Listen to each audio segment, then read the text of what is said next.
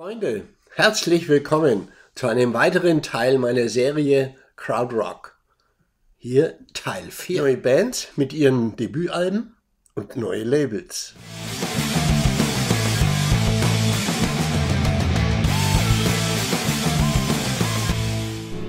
As they watched their son, the father felt some fear. He ran to the barn and said, My son is here. Deserter.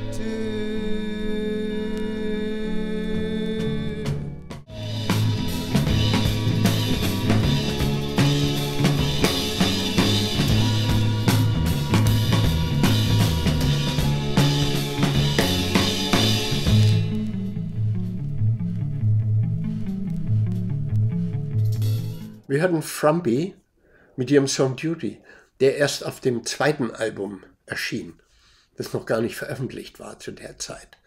Das Festival Pop and Blues 1970 fand in der Ernst-Merck-Halle statt und zog 15.000 Zuschauer an. Das waren alles Crowdrock-Bands. Die Bands suchten nach Auftrittsmöglichkeiten. Album ist im Kasten, aber wie macht man das Ganze publik? Festivals war eine Sache. Die waren selbst organisiert, weil niemand sich an das heiße Eiden heranwagte. Und die Bands wollten es. Also erfanden sie Wald- und Wiesenfestivals. Burg Herzberg zum Beispiel war Anfang der 70er Jahre von den Bands selber organisiert. Heutzutage läuft das Festival wieder und ist ein großer Bringer. Weitere Auftrittsmöglichkeiten waren sehr rar. Auf dem Universitätscampus, neben der Kirche oder im Jugendheim, wenn möglich im Stadtteilfest. Ansonsten hatten sie wenig Auftrittsmöglichkeiten, denn die Tourneen, die anstünden, traut sich keiner durchzuführen. Eine Band mit einem Album, wer kommt denn da? mit der kleinen äh, Fangruppe von den Bands, das Risiko war ihnen zu groß. Aber live war wichtig für die Bands, um ihre Fertigkeiten zu verbessern, um ein Standing zu haben, auch Entwicklungen eines Riffs im Live vornehmen und dann später vielleicht auf einer neuen Platte ausgearbeitet wieder reinbringen. Es artete oft in langen Jams aus, die Musiker wussten selber nicht mehr genau, wie sie den Faden finden sollten. Wir sind 71 in Berlin. Da gab es etliche Bands. Eine, die war immer dabei, wenn es um Hausbesetzungen ging und Demonstrationen oder Kundgebungen politischer Art. Die nannten sich Rote Steine.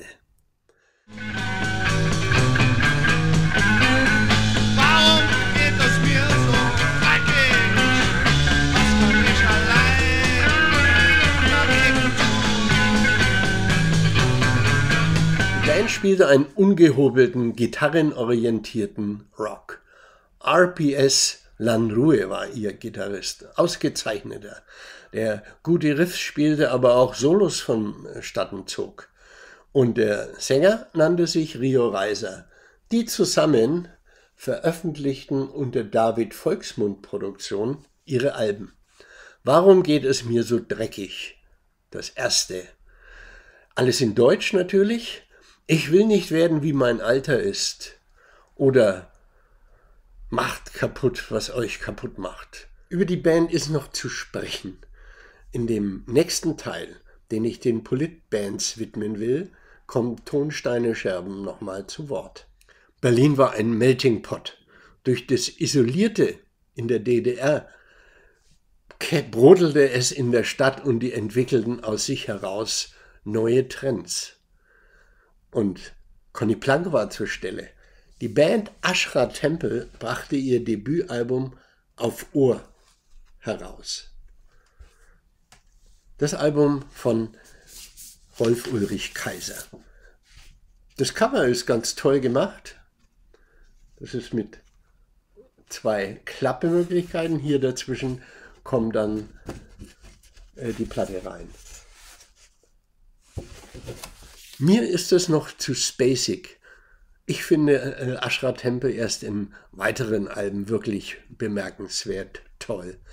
Hier ist es spaciger Sound mit Synthesizer vorangetrieben und immer wieder treibendes äh, Schlagzeug, das die Songs langsam äh, steigert und man eben wieder auf einen Brennpunkt zusteuert. Die Gitarren sind noch sehr verhallt, also extrem verhallt. Als Gitarre muss man das erstmal erkennen. Hört mal.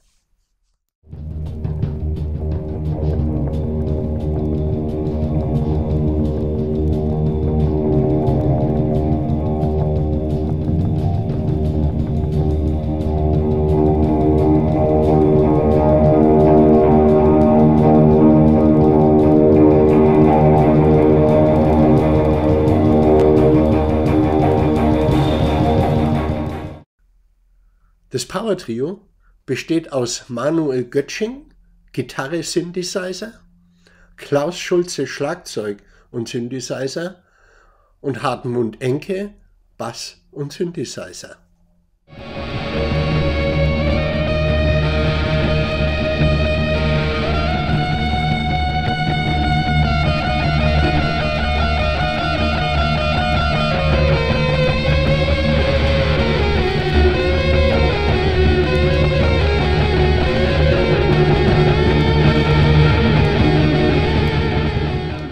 Wir bleiben in Berlin, kümmern uns aber um eine ganz andere Szene. Künstler. Die Band gibt seit 67 und jeder Auftritt war bei denen ein Happening. Die warfen selbstgedrehte Filme an die Rückwand ihrer Bühne oder verformten, verfärbten Wasser äh, über Wärme bewegte sich das und das projizierten sie dann äh, auf die Bühne oder kaputte Fernseher bauten sie auf, so dass eine richtige Wand entstand. Agitation Free auf dem neuen Label Vertigo. Ein Sublabel von Philips, extra für progressive Bands. Musikalisch setzte die Band anfangs auf Pink Floyd, spielten deren Tracks nach mit ihren eigenen Versionen. Christoph Franke, Schlagzeuger, später bei Tangerine Dream. Lutz Lühl Ulrich, der Gitarrist mit seinem spacigen Sound, und Michael Günther am Bass. Die drei zelebrierten einen spacigen Gitarrensound.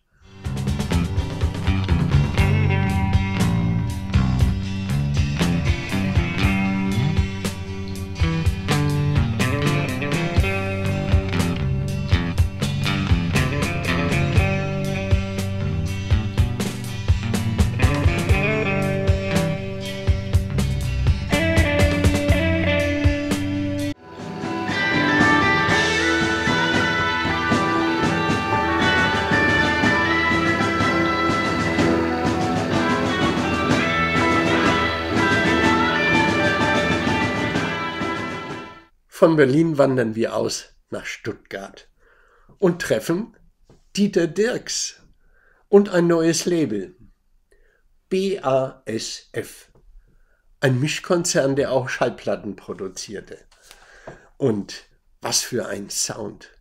Conny Veit, der Mastermind und Gitarrist der Band. Die zelebrierten einen Sound mit allen möglichen technischen Varianten. Echo, Fass, Verzerrer, alles auf die Gitarre bezogen und die erzeugten einen unglaublichen spacigen Sound. Tolle Gitarren, die sich erhoben, die schalten und verrauchten. Es ist äh, Psychedelik pur. Tolle Longtracks.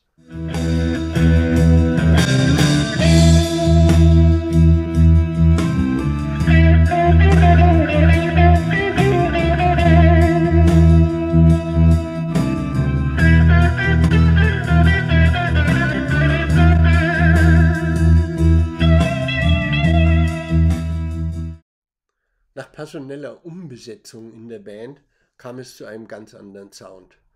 Florian Fricke von Popol Vuh war da jetzt dabei und es klang danach. Buried My Heart at Wounded Knees habe ich als Bonustrack angefügt. Nach dem späteren Trailer. Die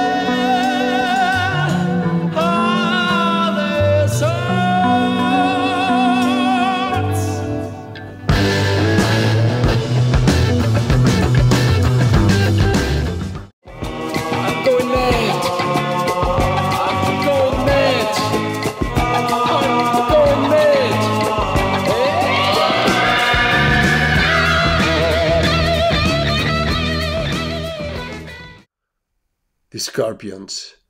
Ein spektakuläres Debüt, wie ich finde. Eine tolle Platte und auch ein tolles Label. Erstmals Brain.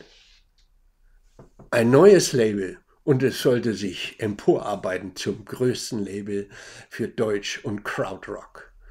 Scorpions waren kein Krautrock, das war Rock, aber grandios. Klaus Meine war noch nicht ganz so in Form, aber er hatte schon Ansätze gezeigt. Die Schenkerbrüder Michael und Rudolf brachten es auf den Punkt. Ausgezeichnete Gitarrenarbeit. Rudolf, der den Rhythmus anschob mit seiner Gitarre und Michael, gerade mal 17, zog ein Solo nach dem anderen nach sich. Aggressiv, ausufernd, flüssig, temporeich mit vielen Breaks, die sphärische Klänge zuließen, aber dann auch wieder das Tempo mit aggressiven Gitarren anzog. Spektakulärer Sound, der in die englische Szene optimal hereinpasst und auch absolut ergänzt. Ein tolles Debüt, ein tolles Label.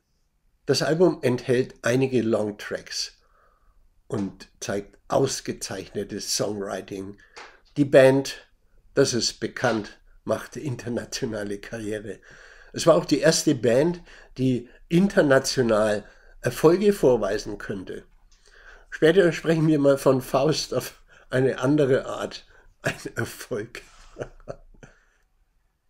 Ein kurzes Zwischenspiel lieferte Brave New World aus Hamburg. Ein einmaliges Projekt von Brian O'Docker den kennen wir von äh, City Preachers und Dicky Tarach, den Schlagzeuger von Wonderland bzw. Rattles, hier mit einem spacigen Album, das in die Tradition des Krautrocks gut hineinpasst. Musik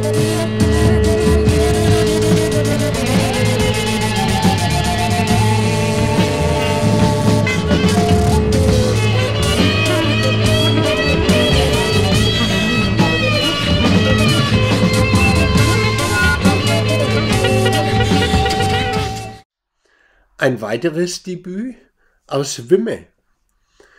Die Band Faust aus Hamburg hat sich dahin verschlagen lassen. Das Label Polydor hat der Band den Hof gemacht. Erstmal spektakulär das Album, silbernes Label, durchscheinendes Vinyl. Auch das Cover ist der Hammer. Es ist Faust aber die Röntgenfaust mit einem durchscheinenden Plastik äh, und auch das Inlet ist durchsichtig. Die Band erntete dank des Musikjournalisten Uli Nettelmann riesige Vorschusslorbeeren. Polydor dachte wohl, die haben die neuen Beatles, die modernen Beatles engagiert. Und die erhielten einen äh, guten Vorschuss. Eine Summe konnte ich trotz Recherche nicht ermitteln. Die Band ging ins Studio, erstellte Bänder, schickte die an Polydor und die waren weg. Die fingen nochmal von vorne an. Und boah, also die haben bei Stockhausen besonders zugehört, wenn in jedem Geräusch Musik steckt. Hört mal.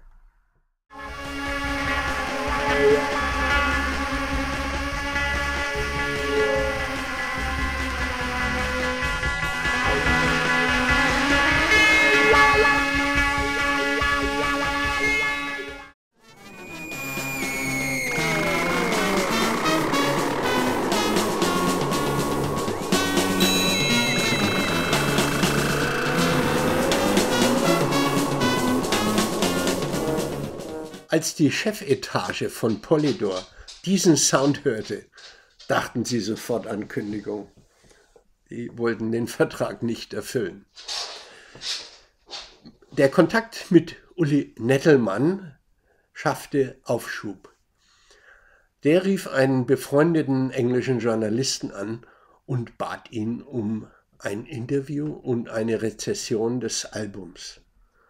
Und es fiel so aus, dass Polydor den Vertrag doch erfüllte und es kam zu einem zweiten Album. Das letzte auf Polydor. Die Band siedelte um nach England und hatte da einigen Erfolg. Allerdings war das Debüt auch besonders bizarr. Kann man es dann hören? Ein neues Debüt, ein neues Label und ein wilder Sound. Das Pilz-Label.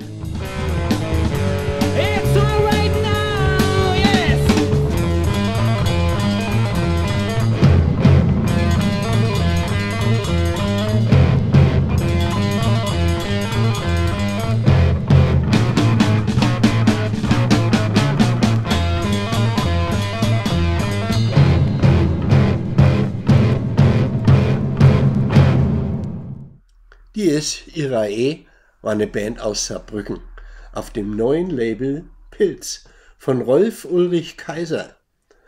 Er wollte Ur einen Gegenpol setzen.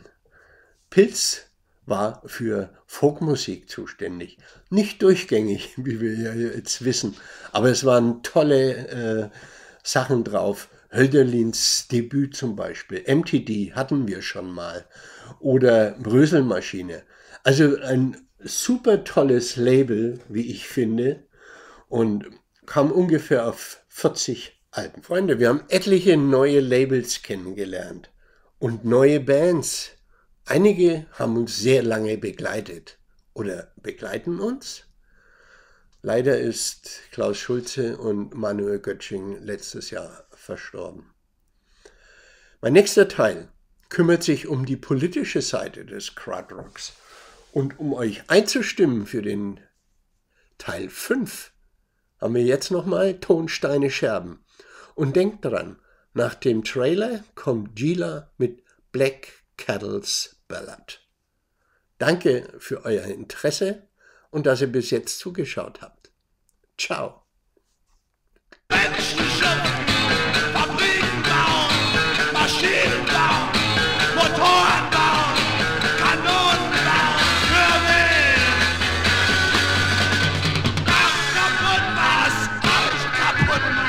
Ich habe da schon so meine Grenzen, aber das war eine Parole in der Anarchoszene. In dem nächsten Beitrag, wo es um politische Bands geht, werden wir noch ein bisschen mehr mit Tonsteine Scherben zu tun haben.